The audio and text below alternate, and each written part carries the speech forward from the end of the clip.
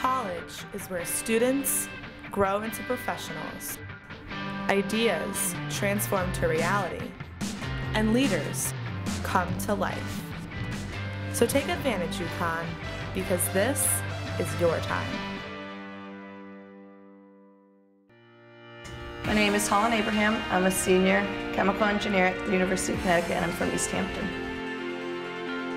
I'm the president of Omega Chi Epsilon. It's a chemical engineering honor society here at UConn. We really pride ourselves on representing the chemical engineering department at the University of Connecticut. We do a lot of tutoring for the younger chemical engineers. I'm kind of trying to get it to be an organization to bring the chemical engineering department together because I had no idea what senior designer lab was like until I got there and it's, it's nice passing on that information and helping out the younger kids.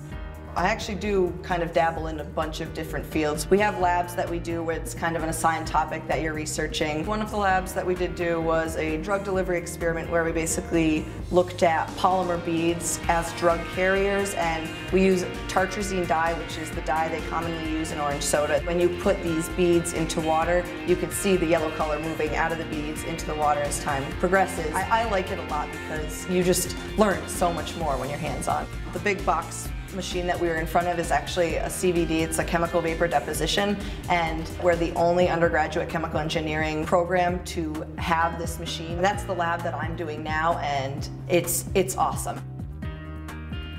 One of my biggest passions that I really enjoy is rock climbing. It's a great stress reliever. I like it because it's different than using my brain. It's a workout that you have a lot of fun doing and it's nice to achieve something that's kind of physically challenging. The other uh, activity I enjoy is I homebrew. Um, my, my father has brewed at home since I was probably five, I would say. So when I turned 21, he bought me my first homebrew kit, everything I needed. He bought me my first pack of um, like hops and everything you need to throw into the bucket and make the beer. It's a lot of fun. I make a mess, but I'm learning.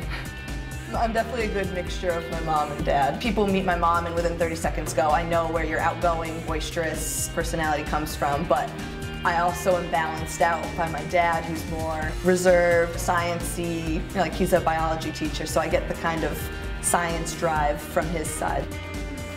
Having a balanced life is important to me simply because I don't want to only do engineering. I run, I rock climb, I hang out with friends. Most people think of engineers as boys who sit in their room and do homework and play video games and don't know how to talk to people. And I just want to challenge people's opinions. I'm a woman and engineer and there definitely is some prejudice. I stand up for myself and I get things done, but people look at me and when they hear I'm a chemical engineer, I get double takes. And I think that's almost the biggest motivator I have to keep going in the engineering field is because I want to make it easier for other girls.